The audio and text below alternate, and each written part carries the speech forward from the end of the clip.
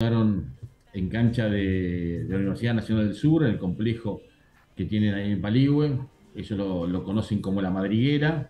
Este torneo que es realmente muy parejo, se enfrentaban el primero y el segundo. El triunfo quedó para el equipo que conduce Fabián Fornetti por 10 a 7, un partido, como lo, demuestra el resultado, muy parejo.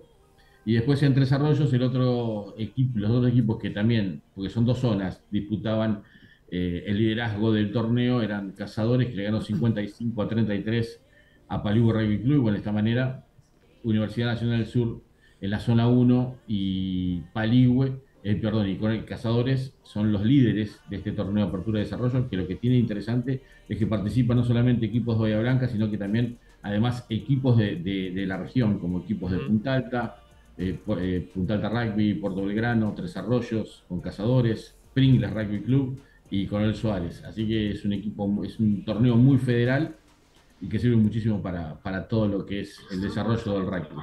Y finalmente los Pumitas cayeron ante Nueva Zelanda.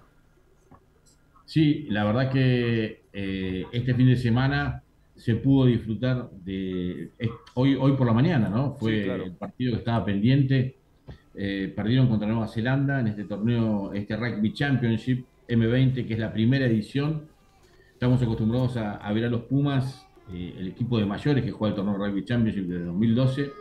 Este año enfrentaron a los Pumitas, a, los, eh, hoy a los, All Blacks M20. En el debut le habían ganado al país anfitrión, que es Australia, 26 a 5.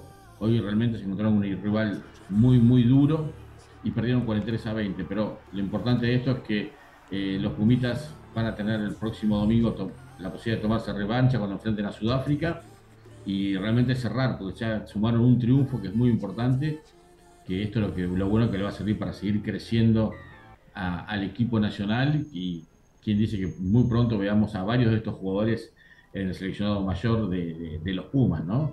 Eh, así que es un torneo realmente muy interesante, que bueno, hoy hubo que madrugar, levantarse a las 4 de la mañana para poder disfrutarlo, pero bueno, estamos un poco acostumbrados a los horarios, a las 10 horas eh, que nos tiene el rugby cuando se juega en el exterior.